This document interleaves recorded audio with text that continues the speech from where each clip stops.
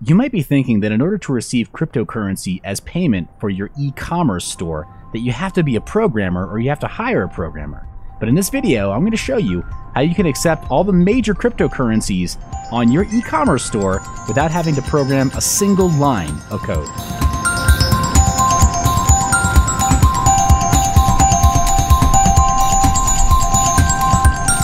Welcome back. My name is Seth Estrada, and if you're watching this video, you're probably on my YouTube channel, Seth Estrada.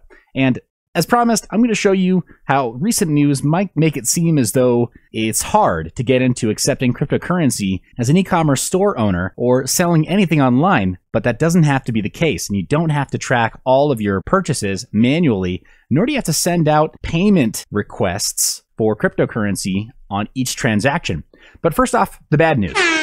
Last month, Stripe said that even though they were one of the few to support Bitcoin payments, that they pulled out. Now, that's just because Stripe supported Bitcoin only. Stripe did not support other cryptocurrencies. That's why it came out and said the cryptocurrency is still viable. They just took a step away from it because, as a merchant payment processor, Stripe needed to focus on what's best for its business. Now, without going into full detail here, this is an article from The Observer where the press release was made. The Stripe representatives talked about how Ethereum is pretty darn cool and that they're keeping their eyes on that. Moving ahead, in TechCrunch, wherever a door closes, a window opens. Stripe pulled out, Coinbase stepped up and created Coinbase Coinbase Commerce. And right here, here's a screenshot to show you kind of how Coinbase Commerce looks. And I'll show you hands on how to use Coinbase Commerce. A good friend of mine wrote an article on, if you're a programmer, how to add webhooks from Coinbase Commerce into your database.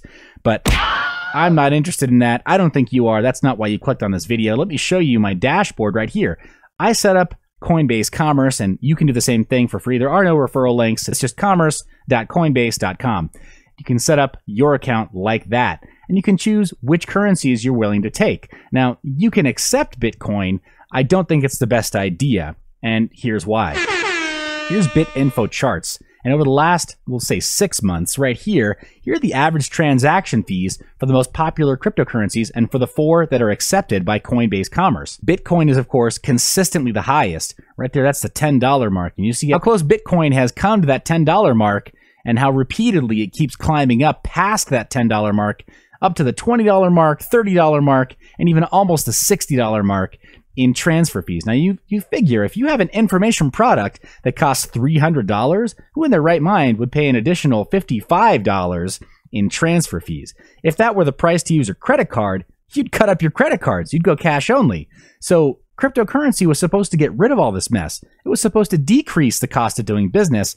But here with Bitcoin, just because of technological progress or the direction of Bitcoin and Bitcoin mining and getting transactions approved, those costs, those fees went up over the last several months.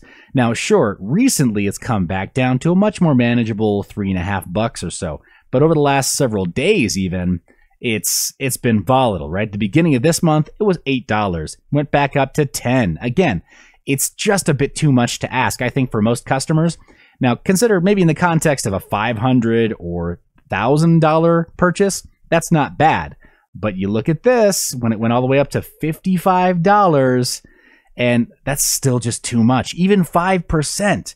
If you were dinged 5% as a vendor by your merchant fees, you'd get rid of that account and look for something else. So Bitcoin, I don't think is the best option just because of where it's gone recently in terms of transfer fees.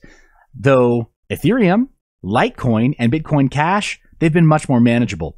So a dollar. When Bitcoin hit its peak, Ethereum was at a dollar in transfer fees. Litecoin was under a dollar, and Bitcoin Cash was under 50 cents. And that's kind of continued along that trend, where Ethereum has more recently gone up to almost $5, but Bitcoin Cash and Litecoin have stayed well under a dollar. And now, more recently, Ethereum is still at about a buck, with the others staying under 50 cents for the majority of that time. So I would say that you want to maintain a little bit of flexibility of thought there and just uh, maybe consider urging your customers to go with Bitcoin Cash, Ethereum, and Litecoin. Now, I've read some commentary on how Bitcoin Cash is it's polluting the cryptocurrency ecosystem and it's confusing people. Uh, I'm sorry. No, no, it's not. There are the numbers right there. And it's pretty clear why Bitcoin Cash is important and why it matters and why you should consider it if you're going into business and accepting cryptocurrency. Now, right here, I've already whitelisted some domains. If you're jumping into a Coinbase commerce account, you're going to want to do this in order to make sure that these embedded payment portals that they show up on your domain. And then down here, API key. To create an API key, you simply have to click on create API key. And then in order to use it, you'll need to reveal it, copy it, and then we'll paste it later on. Um, that's it's as simple as that. You can create a dedicated payment page without using any third-party e-commerce site if you want to, but you'll have to track all of the payments and try to do the associated inventory separately.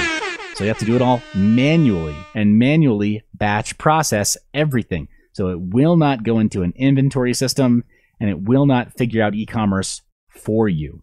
This is just the payment side. Just know that. So accepting payments, you can either sell a product or accept donations. Either one is easy, but I think we really want to sell a product. That's what we're after right now. Give it a name, give it a description, enter the price, and then give it a product image if you want to. All of that allows you to create new products. Now, I've got several products already. Most of them are tests, right? So, a donation for Genius Beard LLC, Cryptocurrency 101, which I don't think I'm going to continue with at that price. So, if you haven't already downloaded it, go and download it. Uh, but then all through here, same same deal. That said, we don't need to make all of these products in order to start using Coinbase Commerce today. I told you I would show you how to do this without programming a single line of code, and I'm going to stick to that promise. Really quickly, here's the Shopify dashboard. Now, most people don't know about this product. And Shopify Lite, what it does is allows you to create an e-commerce inventory tracking system not for $29, not for $150 a month, but for $9 a month. So, this is the cheapest way to create an inventory system and start doing e commerce by embedding product links into your website. What it doesn't include is the full builder. So, you can sell on social media, in person, or with a website that you already own. But this is designed to help you integrate different payment solutions. Let me show you how this works. All you're going to need to do is go into your Shopify dashboard Go all the way down to the lower left hand corner where it says settings. Click on settings. And then right here, payment providers. I'm going to scroll down the list and at the very top, Shopify Payments, of course, they're interested in selling you their solution, which is currently powered by Stripe. What is Stripe doing? Abandoning Bitcoin. They're abandoning cryptocurrency. Just remember that. They might not be the right way to accept cryptocurrency. You can also use PayPal, of course. Really flexible. And between these two right here, you cover the majority of your clients, the majority of your future customers, but you don't cover cryptocurrency. Same with Amazon Pay. It's really simple, really flexible. A lot of people are using it. But then here under alternative payments, you've got a long list of options. So right here, I'm going to open that up. There's Dwolla, BitPay, which is a very popular form of accepting cryptocurrency but we're not going to go with BitPay today. We want to take advantage of this new platform, Coinbase Commerce. And it's on the list. I have already activated it right here, Coinbase Commerce. All I needed to do, right here, I'll go under Edit, was give them the email address that's associated with my Coinbase Commerce account and then give them my Coinbase Commerce API key. You remember that, right? I had to create an API key under Settings down here. All I needed to do was copy that, paste it over here, and then click save.